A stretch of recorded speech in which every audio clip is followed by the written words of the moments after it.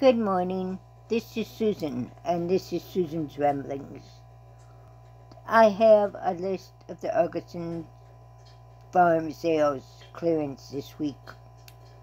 It's kind of slim. The savings are very slim. I think there's only one that's over 50%. Uh, I guess that's a sign of our times, so you better get what you need when you need it because I don't think it'll be much cheaper than this. Peas, sixteen ninety eight, forty three percent off. Country Fresh non-fat milk, twenty dollars and ninety three cents, twenty five percent off.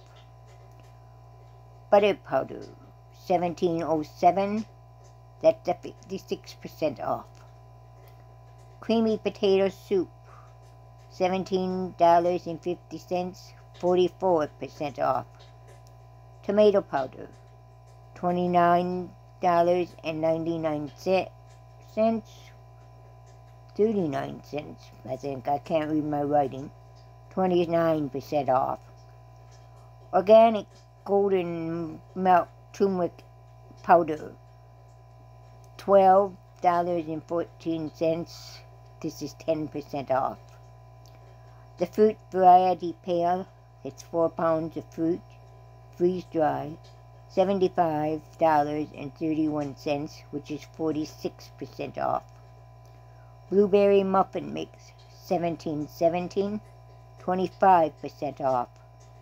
Southwest chili mix, 1888, 46% off.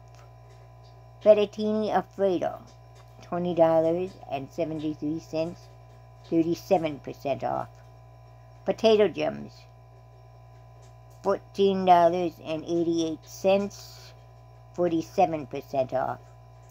Pineapple chunks, $30.79, 32% off.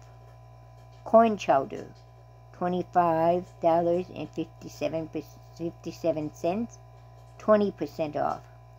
And the vegetable garden seeds, $25.25, 43% off.